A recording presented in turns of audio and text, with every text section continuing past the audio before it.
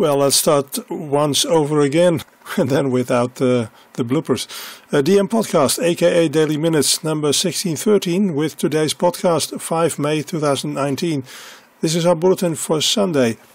This bulletin will be for the major part in English. Deze uitzending is grotendeels in het Engels. Vandaag hebben we het ARRL Audio News en daarna Foundations, de Foundations column van Onno VK6FLAB.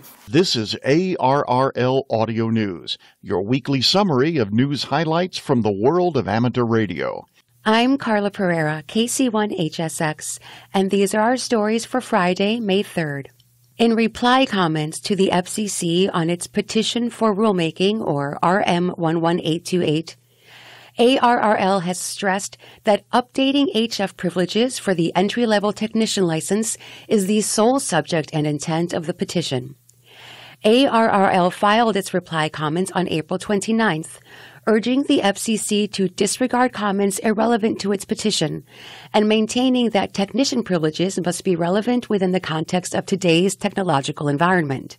ARRL asserted, quote, the increasingly rapid pace of change in communications technologies, coupled with the national need for self-training in science, technology, engineering, and math, necessitate the rule changes requested, unquote. ARRL characterized its proposal to update the rules as balanced and modest. ARRL said, quote, if adopted, there would be no change to the operating privileges for all license classes other than those of the technician class, unquote. ARRL in 2018 asked the FCC to expand HF privileges for technician licensees to include limited phone privileges on 75, 40, and 15 meters, plus RTTY and digital mode privileges on 80, 40, and 15 meters. The FCC invited comments on the proposal in April. ARRL said some opposition appears to be based on fears of increased interference potential due to additional digital operation by technicians. The comments note the development of very efficient digital modes such as FT8, which occupies just 90 Hz of spectrum per signal. ARRL further said that comments regarding disagreement on the definition of encryption for masking the content of certain digital transmissions also are out of place and should not delay initiation of the proceeding to update technician privileges. The Army Military Auxiliary Radio System, or MARS, will host the traditional military amateur radio communication tests to mark the 68th annual Armed Forces Day, or AFD, on Saturday, May 11th. The event is open to all radio amateurs. Armed Forces Day is May 18th, but the crossband military amateur radio event traditionally takes place one week earlier in order to avoid conflicting with Hamvention. Complete information, including military stations, modes, and frequencies, is available on the U.S. Army MARS website. During the event, military stations in various locations will transmit on selected military frequencies and announce the specific ham frequencies they are monitoring. Military stations expected to be on the air for the event include those in Arizona, Japan, Hawaii, Okinawa, Washington, D.C., and elsewhere in the contiguous states, the USS Midway, the USS Yorktown, the USS Iowa, LST 325, and the U.S. Naval Academy in Annapolis, and the Newport Naval Radio Station Museum in Rhode Island. The MarsCom and MARS Radio nationwide networks will have multiple stations on the air across the continental U.S. An Armed Forces Day message will be transmitted utilizing the Military Standard Serial PSK waveform M110, followed by Military Standard Wide Shift 850 Hz RTTY. The message will also be sent on CW. Amateur radio will play a role in this summer's 24th World Scout Jamboree in West Virginia. The Jamboree has chosen the theme Unlock a New World. Thousands of scouts and scout leaders from some 200 countries are expected to attend. The Jamboree's amateur radio exhibit will use the call sign NA1WJ. It will be on the air during the event from July 22nd until August 2nd at the Summit Bechtel Reserve. Organizers are encouraging radio amateurs around the globe to get on the air during the World Jamboree to help NA1WJ demonstrate amateur radio for Jamboree visitors.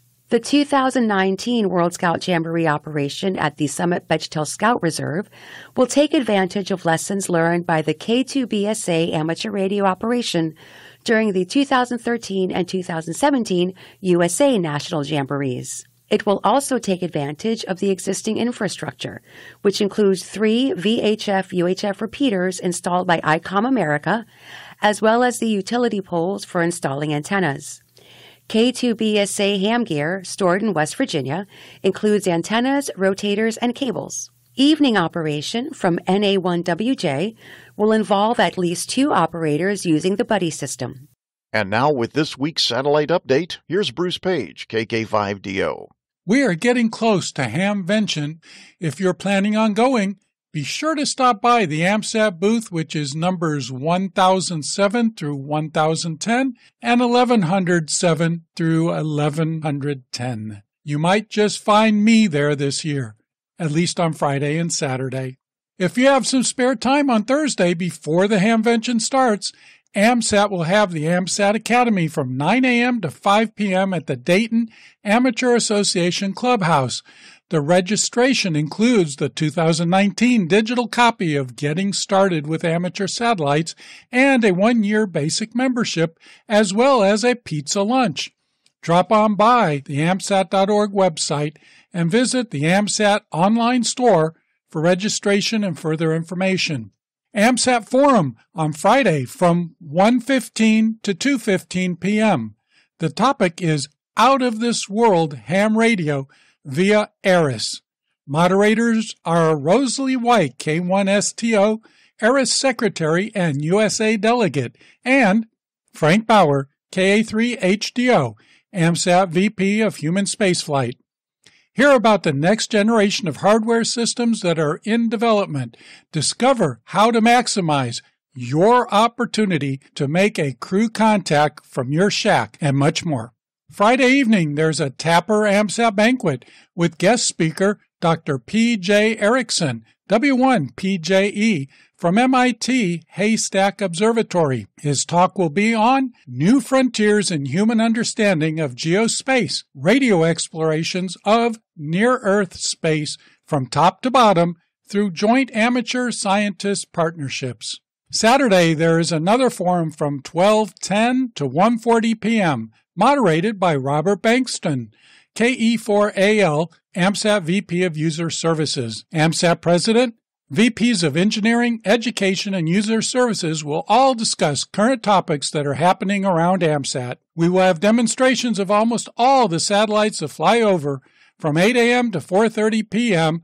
Friday, Saturday, and Sunday outside the main entrance to Maxim Hall which is Building 1. This is Bruce Page, KK5DO, for the ARRL Audio News. This is the ARRL Audio News propagation forecast for Friday, May 3rd. The sun continues to be spotless, but it's still sending some big solar winds our way. The latest blast, cruising along at 1.2 million miles an hour, reached us on May 2nd and is going to be with us for several days. As usual, expect some disruptions on the higher HF bands. Even 20 meters may be somewhat compromised until the disturbances subside. On VHF and UHF, spring weather is triggering some tropospheric band openings over a wide area of the South and Midwest, with reports coming in from as far north as Michigan. Openings are not frequent, but it's a good idea to keep your ear to the radio on 2 meters and up. And that concludes ARRL Audio News for this week. Our thanks to all contributors to this week's report. ARRL Audio News is produced by the American Radio Relay League, the National Association for Amateur Radio. For more information on amateur radio or the ARRL, visit us on the web at arrl.org. You can also find us on Facebook and Twitter by searching for ARRL. If you have a question or comment about ARRL Audio News, email us at audionews at arrl.org. This program is copyright ARRL, all rights reserved. 73, and thanks for listening. Foundations of Amateur Radio. We think of radio as operating on a specific frequency. We select an antenna resonant on a single band. We configure the radio for that same band and then turn the dial or the VFO or variable frequency oscillator to a particular frequency within that band. All of our language is geared towards this concept of tuning, of picking out, selecting one special tuned resonant frequency and listening to it. I've said this before, but that's not actually what's happening. Your radio is receiving all RF frequencies, all of them, all at the same time, all the time. Your antenna is better at hearing some frequencies than others, but that doesn't stop it from hearing everything at once. Your radio is getting all that RF information at the antenna connector. After that, every step along the way is removing unwanted information. First, it removes all the bands you're not listening to. Then, the VFO selects which part of what remains to let through to the decoder, and the result finally arrives at the loudspeaker. Ultimately, all your radio lets you play with is what's left over say about 3 kHz bandwidth. Using traditional radio, if you want to listen to two repeaters, you either need to switch back and forth quickly or you need two receivers. Now, without going into how precisely, imagine an SDR with a bandwidth of 3 MHz, 1,000 times larger than your traditional radio. Before you think I'm being fanciful, a $25 gadget can do this. This means that you could process most, if not all, of the 2 meter amateur band, and then pick out which bits you'd like to decode. You could decode all the local FM repeaters, an overflying satellite, the International Space Station SSTV, a beacon, Morse, packet, RTTY, and simplex contacts, WSPR, APRS, EME, whatever is happening on 2 meters, all at the same time. Let me say that again. All of the two meter band, all at the same time. The point is that all this information is there, all the time. We can opt to decode or ignore the information. In a traditional radio, you can only decode one signal at a time. But on an SDR, you can extract as much or as little as your computer can handle. Some SDR language talks about using multiple receivers, but a better description is multiple decoders. This means that software defined radio is fundamentally a different way of looking at radio spectrum. Instead of filtering out everything we don't want to decode, we select which decoder to apply to which part of the spectrum. With an SDR, you could represent the 2 meter band as a 3 MHz slice of spectrum as a series of measurements. There is no loss if you reuse the numbers, so if you process the same data multiple times, you have no loss of signal, no deterioration, no extra noise. All we do is feed the same data into each decoder, pick out the bit we want to decode, and have at it. There's a misconception that you need serious computing power to do this. That's not strictly accurate. A $5 Raspberry Pi single board computer is more than powerful enough to do this. You can argue that this is serious computing power. Compared to what we use to land on the moon, it is. Compared to your mobile phone, it isn't. I fully intend to go into the maths behind this, but it's not scary despite what you might think or have been taught. My week has been about the maths, and it's become clear to me that there are lots of explanations around, each trying harder than the next to scare you away. If you feel the need to run screaming for the hills when you hear the words Nyquist, Shannon, and Fourier, then get it out of your system and come back when you're ready. I'd like to mention that I've been working on how to explain this over much of the week. I lost count of the number of drafts I've written, but it keeps coming back to the words that are almost as old as I am. My God, it's full of stars. No doubt you might be convinced that I've lost my marbles and that I'm going well outside the foundations of amateur radio. But I have to confess, this is what radio is today, and I'm thrilled to be here learning more about how this all works. Hopefully, you are just as thrilled.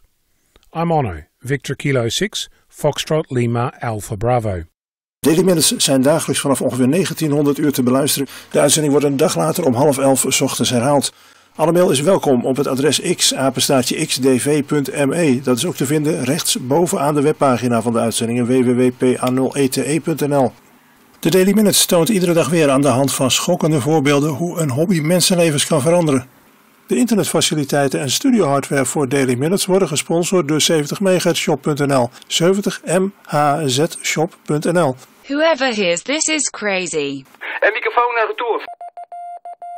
Abonneer je nu op de podcast van de Daily Minutes. De website van de podcast is dmpodcast.net. DM is kort voor Daily Minutes, dus dmpodcast.net. Bij de feed van de podcast komen er nog een breukstreep en vier letters bij. Breukstreep F-E-E-D. dmpodcast.net, schuine streep F-E-E-D.